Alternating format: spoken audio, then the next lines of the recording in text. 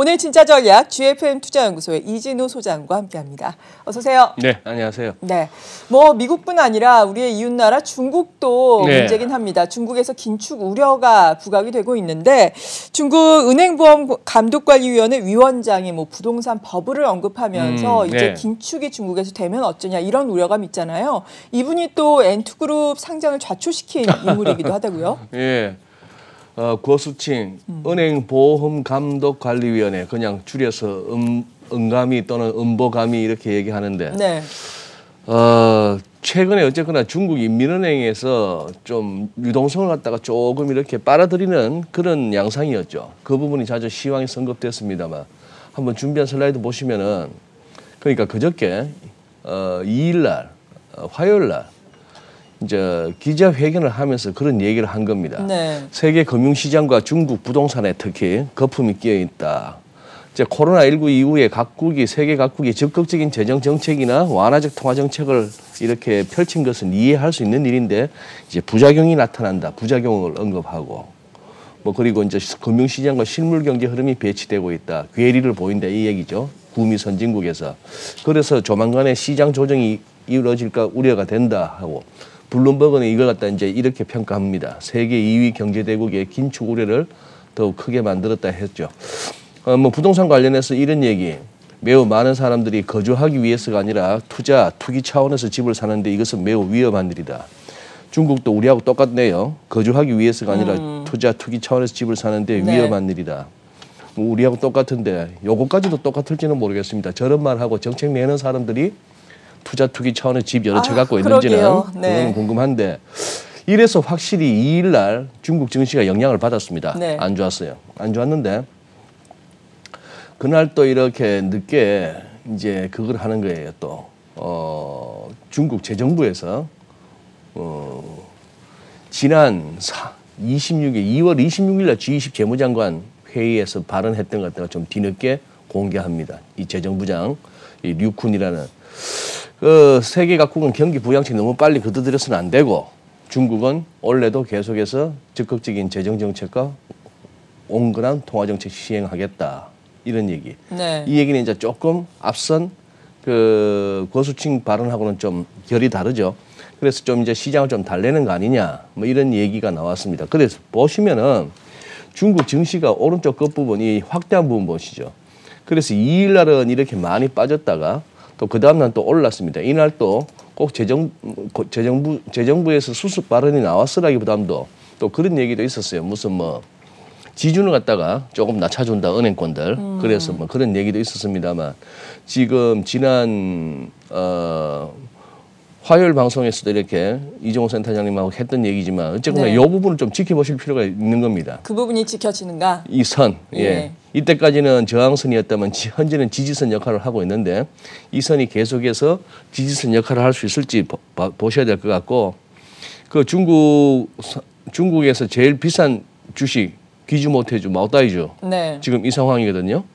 이렇게 보시면은 얼추 얘가 지금 5, 20, 61선 61선 와가지고 일단 지지되나 여부를 갖다가 확인이 필요한 그런 상황이다 하는 것이죠.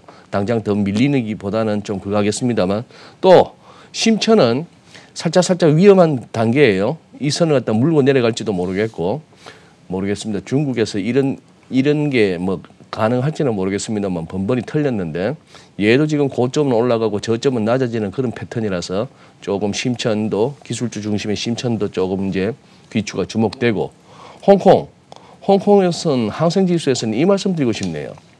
지금 여기 의미 있는 변곡점 중요한 고점이나 저점에서는 이렇게 거래가 터졌지 않습니까? 네. 거래가 터졌고 나름대로 RSI 같은 것도 여기서 한번 돌아설 만한 과매수, 돌아설 만한 과매도 이런 상황이었는데 이번에도 지금 지난주에 특히 어, 2월 마지막 주에 어, 홍, 홍콩도 많이 밀린 상황에서 이 부분 그래서 중국도 지금 뭐 그렇게 보입니다.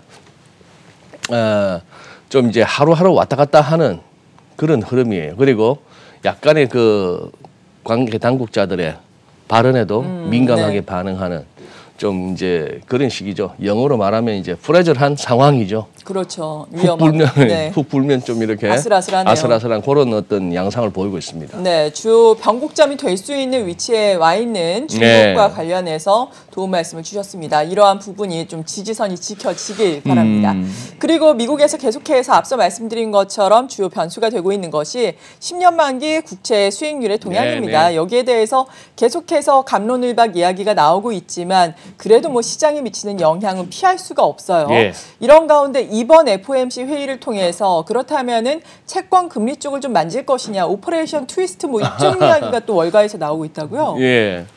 그뭐 operation twist가 예. 그거잖아요. 저 단기 국채 보유 연준이 보유하고 있는 단기물을 팔아서 그걸로 장기물을 산다는 네. 거. 뭐 그 얘기는 결국 이렇게 생각할 수 있겠습니다. 뭐 단기물을 파는 만큼 단기 쪽은 수익률이 좀 오르겠죠. 가격이 떨어지니까 네. 그걸로 장기를 사서 10년, 30년 같은 장기물을 갖다가 또 어, 높게 사줌으로써 수익률을 떨어뜨리는 이 커브가 좀 평평해지는 그런 상황이 되겠는데 그렇다면 연준의 전체적인 대차대표 자산 쪽은 전체 규모는 변동이 없잖아요. 네, 뭐 그런 그렇죠. 상황인데 이것도 뭐 예전에 썼던 썼던 초식이긴 합니다. 근데 과연 그걸 갖다가 이제 이번 당장 다다음 주 어, 내놓을지는 모르겠는데 계속 지금 어, 밤사이 또 그렇게 미국의 증시가 밀리니까 뭐 CNBC로 들어가나 블룸버그로 들어가나 헤드라인은 전부 그거예요. 미국 채 수익률이 다시 급등하는 와중에 지수가 빠졌다. 네, 이렇게 이제 다 헤드라인을 그렇더라고요. 달아요. 이거 보십시오. 2월 26일 날 사실 제일 깜짝 놀랐던 게 지난주 목요일이었죠. 맞아요. 지난주 목요일 날 깜짝 놀랐는데 파이낸스 타임즈도 이렇게 쓰고 있습니다. 나스닥이 3.5%나 그냥 미끄러졌는데 이 government bond니까 국채죠. 국채의 rout 이게 뭐 국채 시장이 이제 rout라는 원래 의미는 패배 뭐 완패 이런 의미인데 네. 이 시장이 지금 이제 흔들리고 있다는 얘기죠. 자 여기서 1.5%라는 레벨을 올라선 걸 갖다가 중요시했습니다. 이거는 이제 그때 뭐 S&P 500, 나스닥 할 것 없이 이런 흐름이었는데 이제 여기서 10년물하고 5년물 갖다 이렇게 겹쳐서 보여주고 있죠. 최근 들어서 이제 가파르게 올라오고 있는 즉 네. 시장이 모두 국채 수익률에 주목하고 있다는 그, 그 분위기를 말씀드리는 겁니다. 자 그런데 저기 이 기사 한번 보시죠. 마켓워치 기사인데 이게 414 빌리언이면 10억, 100억, 1000억, 4,140억 달러의 규모에 달하는 새로운 국채 발행이 지금 어, 예상된다는 겁니다. 네. 이게 이제 뭐 프랑스계 어떤 저 자산 운용사에서 순 발행해 이렇게 상환도 돌아오고 그거 이렇게 차환하기도 하고 하지만 추가로 한 이 정도가 기존 역대치의 두 배 가까운 규모가 올해 발행될 것 같은데 아 이달 저기 그 이번 달에? 3월 예. 달에 3월 한 달에 이거는 역대 기존 역대 최대치의 두 배 가까운데 표현이 재밌죠. 아주 난감한 채권 매수 세력의 공급 시험대가 될 것이다. 네. 이게 어떤 의미인가요? 그러니까 이렇게 공급되는 게 이렇게 많아지면은? 이렇게 많아지면은 예. 결국 뭐죠?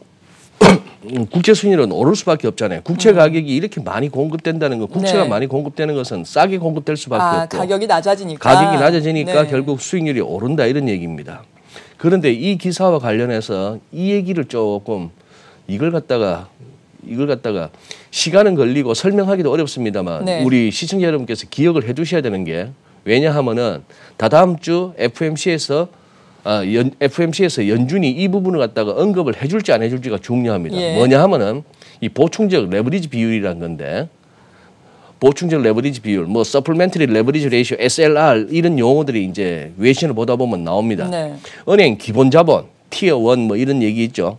은행의 자본을 갖다가 총 자산으로 나누는데 그걸 갖다가 이제 대형 은행들은 이걸 갖다가 최저 3%, 즉 자산 대비 자본이 3%는 돼야 되고 그 중에서도 뭐 골드만삭스, JP 모간 같이 글로벌 시스템적으로 중요한 은행 또 이런 표현도 있습니다. 네. 어뭐 globally 뭐 sys, global systematically 뭐 important 어쩌고 저쩌고 이래요. 얘들은 그거보다도 얘들 잘못되면은 전 세계가 어수선해지니까 너희는 자본을 더 확충해 하는 차원에서 얘들한테는 5%를 유지하라고 하는 겁니다. 그런데 이게 작년에 3월에 팬데믹 오고 이 와중에 정신 없었을 때 국채 수익률 막 폭등하고 했잖아요 그때. 국채도 집어 던졌으니까. 네. 작년 3월에. 그러다 보니까 연준에서 어떻게 했나 하면은 4월부터 1년 동안 즉 다가오는 3월 말까지 이 산정함에 있어 가지고 지급준비금하고 특히 미국 국채 들고 있는 거는 자산으로 안 쳐줄게 그 분모에서 빼주는 겁니다. 네. 그 얘기는 그만큼 이 은행들에 있어서 자본 비율을 갖다가 유지하는데 그동안 연준이 봐주는 덕분에 그거 했던 거예요. 유리했던 거예요. 추가적으로 자본 확충을 안 하고도 견딜 수가 있었다는 얘기입니다. 네. 그런데 여기에 대놓고 지금 이거 보세요. 누구?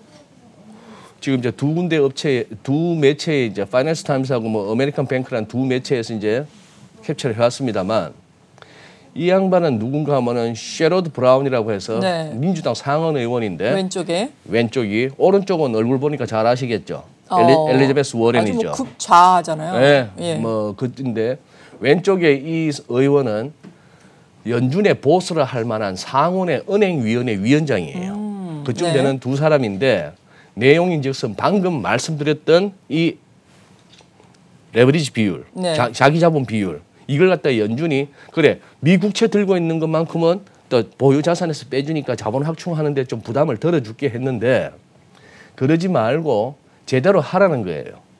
이대 오면은 그거 연 1년 동안 유예해 줬던 거 원상 복구시키라는 것 갖다가 이 두 사람이 서한을 보냅니다. 네 군데다가 네. 제롬 파월하고 랜덤 컬스 부의장하고 연방예금보험공사 의장하고 통화감독청장한테 이렇게 보내는데 아주 뭐 점잖게 말은 합니다만 마지막 문구가 보면은 표현은 점잖습니다만 이거 아주 살벌한 얘기예요.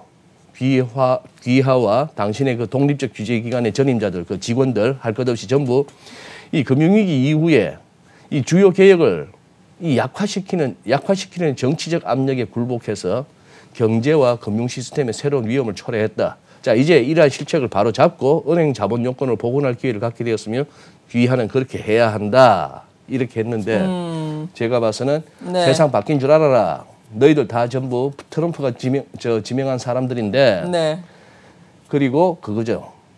이렇게 해서 자기 자본 비율을 갖다가 좀 얼렁뚱땅 그렇게 1년 동안 해주는 바람에 이 친구들이 이제 예- 여기 말은 경제와 금융 시스템 새로운 위험을 초래했다 이런 얘기입니다. 자, 그래서 여기에 이러한 흐름에 그러면은 3월 말에 가서 앞서 살펴보셨던 이 SLR이라고 하는 이 부분의 규제 완화가 결국 연장되지 않고 그거 한다면은 조금 그럴 가능성이 있는 거예요. 어떨 가능성이요? 보유 자산을 좀 처분해야 되는. 아 국채를 국채를 좀 처분한다고요? 음. 처분하거나 정안 되면은 뭐 위험 자산이라고 분류될 수 있는 주식을 좀 처분하거나 네. 그런 가능성. 요 요것이 하나의 변수가 될 수 있으면 조금 그러네요. 염두에 두셔야 됩니다. 네. 그래서 아마 다다음 주에 FMC 이후에 기자회견 가운데 성명서 가운데 이 부분이 언급되든지 기자회견 가운데 질문이 나오든지 할 것 같습니다. 네.